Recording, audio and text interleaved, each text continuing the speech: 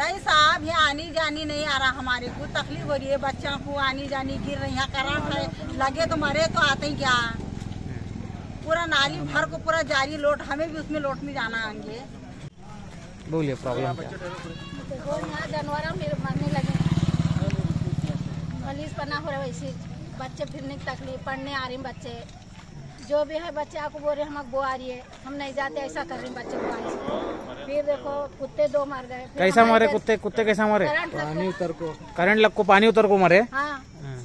ऐसा होने लगे। तो अब क्या करना इधर आने तकलीफ़ हो रही है बच्चा हमारे सब पूरा मदरसा है मस्जिद है।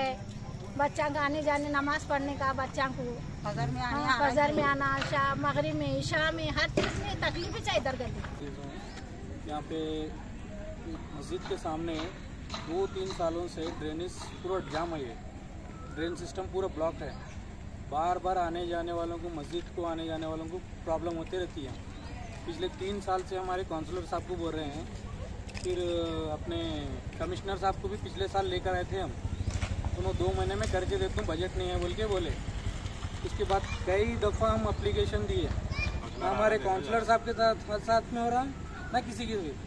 काउंसलर साहब तो हमारे को ये बोल रहे हैं कि दो तीन मरतबा जाने बाद ये एरिया मेरे को नहीं आता। फिर बाद में आ गए। आके भी देखे उन्होंने। देख कर भी देख कर हूँ किराता हूँ बजट नहीं है बस इतना ही बोलो मगर तीन साल से कोई काम नहीं हुआ। ये बहुत प्रॉब्लम है इतना कि आज तो जाने के वास्ते नहीं आ रहा था यहाँ से। पैदल या गाड़ी पे कैसे भी जाने नहीं आ रहा था। उतना पानी आ रहा था। तो वीडियो में आप देख सकते हैं। काउंसलर साहब तो हर बार यही बोल रहे हैं बजट में नहीं है और दूसरी तरफ़ के बहुत सारे काम हो रहे हैं। डिमांड ये है कि जल्द से जल्द ये काम हो जाए। नहीं तो हम सब इतने जो युवा हैं आकर सीएमसी का धरना देंगे। पूरे के पूरे। क्योंकि तीन साल से सबर कर रहे हैं। सबर का कोई अब ये नहीं है। Knowledge Park, the creative school, school for quality and innovative education. आपके सपने हमारे अपने new developers private limited company और इसके बाद में ये भी जो यहाँ पे लाइट का खंभा है उससे पिछले बारिश में कुत्ता मर गया यहाँ पे। करंट लग गया। छोटे छोटे बच्चे फिरते हैं। उसके मदरसा है यहाँ पे मस्जिद के सामने। आते जाते रहते हैं। उसके भी जय साहब को हम कई मरतबे कॉल किए। वायर कट हो गया यहाँ पे करंट उतर रहा है बोल के। आज कर दूँ कल कर दूँ बोले कोई रिस्पॉन्स नहीं दे क्या ये एरिया आदिवासी है? यहाँ पे कोई काम नहीं करने वाले हैं। वो हमारे मालूम होना है। बस इतना ही। क्योंकि दोनों भी काम नहीं हो रहे हमारे। ना सीएमसी से हुआ ना लाइट ऑफ़िस से हुआ। तो ये एरिया आदिवासी है तो मालूम होना हमको ये।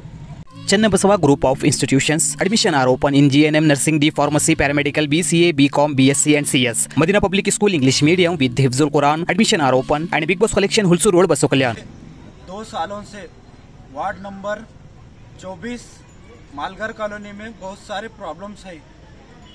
और यहाँ पर एक लाइट का ट्रांसफार्मर है उसको जाली नहीं है कुछ नहीं है। यहाँ पर करंट उतरने की वजह से चार पाँच कुत्ते की जो है डेथ हो गई। और ये ड्रेनेज का पानी ब्रिज में से पास नहीं हो रहा। तो अभी सीएमसी वालों को बोल रहे हैं, आ रहे हैं सीएमसी वाले, आ रहे हैं, देख रहे हैं, साफ़ कर रहे हैं, जा रहे हैं। तो ये साफ़ करने से इसका हल नहीं होने वाला है। इसको जो है बजट सेंशन कर कर एक नाली, ये नाली से वो नाली तक अटैच करके दीजिए। हमारी ये सीएमसी से और काउंसलर से डिमांड है। जल्द से जल्द ये काम होना, अगर के ये काम नहीं हुआ तो हम दो चार दिन, आठ दिन के बाद सीएमसी के सामने ज़बरदस्त तरीके से धरना देंगे। और men's parlour tattoo studio body massage hair cut and मैर setup for boys then here near Punjabi Dhami main road Basavakalyan